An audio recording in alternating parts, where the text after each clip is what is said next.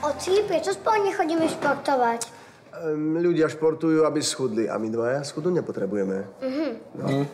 Tak potom nechápem, prečo v tej chladničke nemáš niečo poriadne. Samé olivy. To naozaj nemôžeš skočiť do obchodu a kúpiť niečo normálne? Áno, to môže byť pre náš šport. Skok do obchodu. Musíte robiť cirkus obidvaja naraz. Keď teraz sa v škôlke učíme o športe a Linda povedala, že deti by mali športovať so svojimi rodičmi. Ale veď my športujeme. Beháme za babami. Aha, Už zďaleka v tejto disciplíne nedosahuješ také výsledky ako kedysi. Určite to je lepšia disciplína, ako čumieť do cudzej chladničky v cudzom byte. Mareček, nakup si sám. To by ťa naozaj zabilo, keby si v tom obchode do toho košíka hodil tresku a dva biele rožky? Čo si taký odporný? Som odporný, pretože som zažil odporné veci.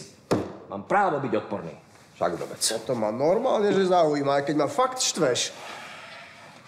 Zažil som niečo, čo by žiadny chlap zažiť nemal.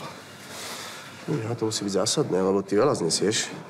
Tak si predstav, že Petra vymenila zámku na byte. Vôbec som sa nedostal dnu. A Marečka som nevidel ani chvíľu. To som dopracoval, čo? Mám pocit, že ti vyhlasila vojnu. No, som tam stál ako taký... taký... debil. No.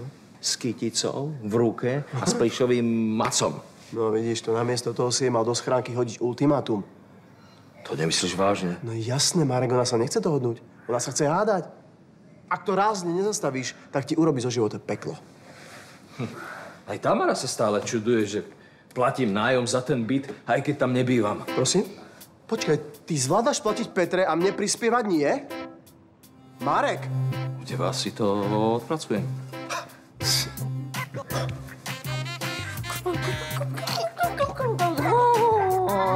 Venujem, len tu musím niečo dokončiť. Poď, Ujo sa s tebou pohrá. Však, Ujo. Aspoň si vyskúšaš, aké to je byť otcom. Oveľa ste prišli, pracujúci ľudia.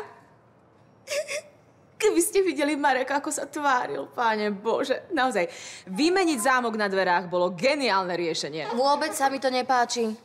Prečo?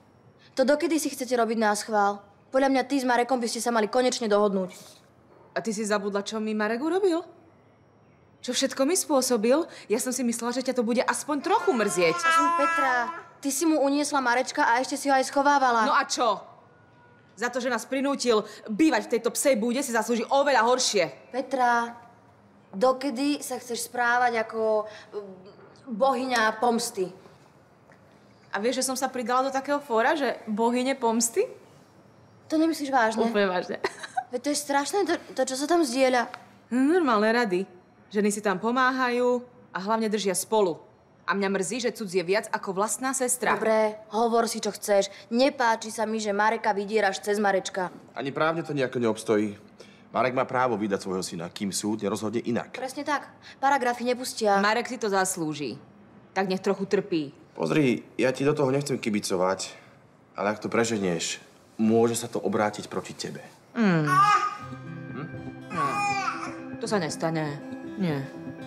Marek poslúcha matky svojich detí.